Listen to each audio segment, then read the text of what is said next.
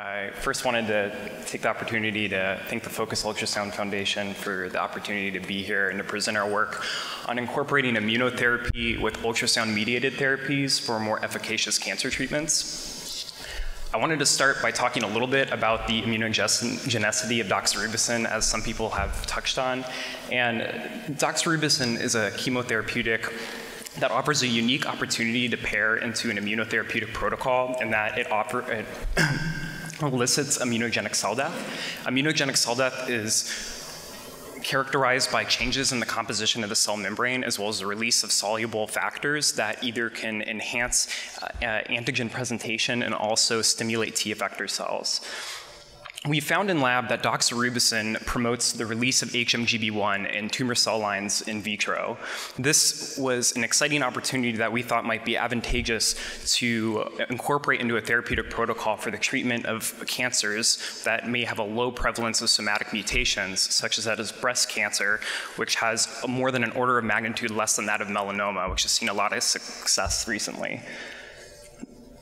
As I'm sure most of you know, checkpoint inhibition immune adjuvants offer the opportunity to either release the brakes on the immune suppression dictated by the tumor microenvironment um, by inhibiting inhibitory pathways, uh, shown here with the PD1, PD-L1 axis, or to press on the gas to stimulate uh, both the innate and adaptive arms of the immune system to generate an anti-tumor response.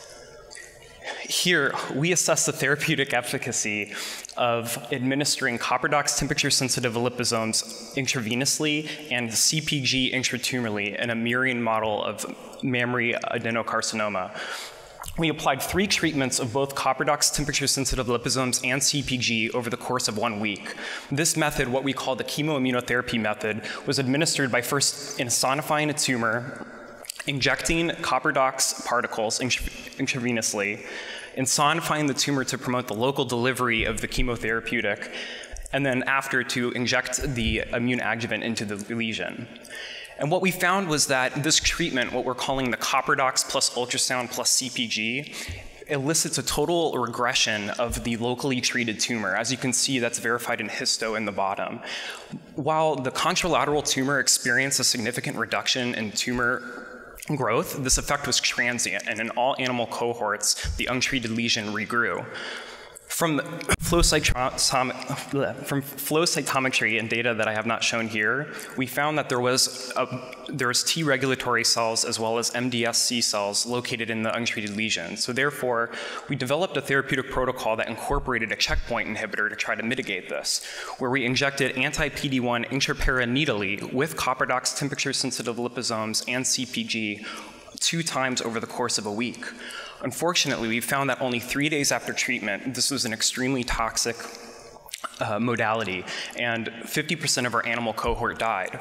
So obviously, we needed to reconfigure things a little bit, and we designed a new protocol that we, we call the priming protocol, where we administer the immunotherapy prior to the chemotherapy.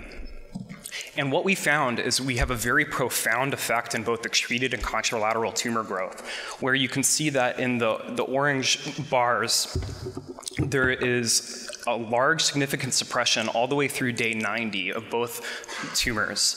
And if you look at the outcome of the survival, it's pretty dr drastic. 50% of the animals achieved a complete response.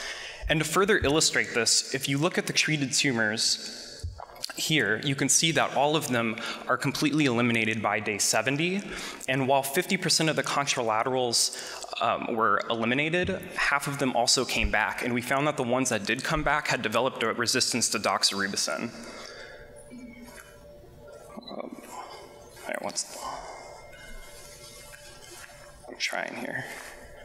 Lastly, I wanted to I wanted to reiterate that this was a very rapid and systemic effect. If you look only two weeks after treatment in the treated side, you can see that there is a large infiltration of leukocytes around the periphery of the treated tumor going towards the center where there is collagen remodeling, ghosting of nuclei, and a lot of tumor necrosis. And in the contralateral, we see that as well. There's intratumoral hemorrhage, there's a loss of cell cell adhesion, as well as tumor necrosis. Both of these tumors, two weeks after treatment, also had a large upregulation of infiltrating CD8s into the tumor.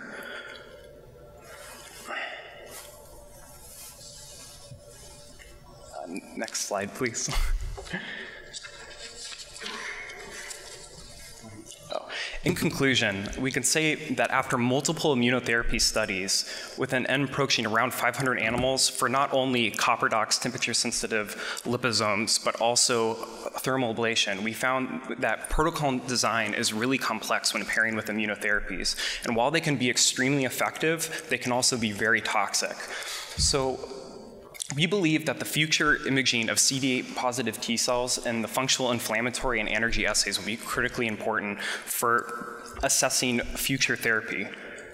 I wanted to thank the lab for all of the work and as well as their funding mechanisms. Thank you.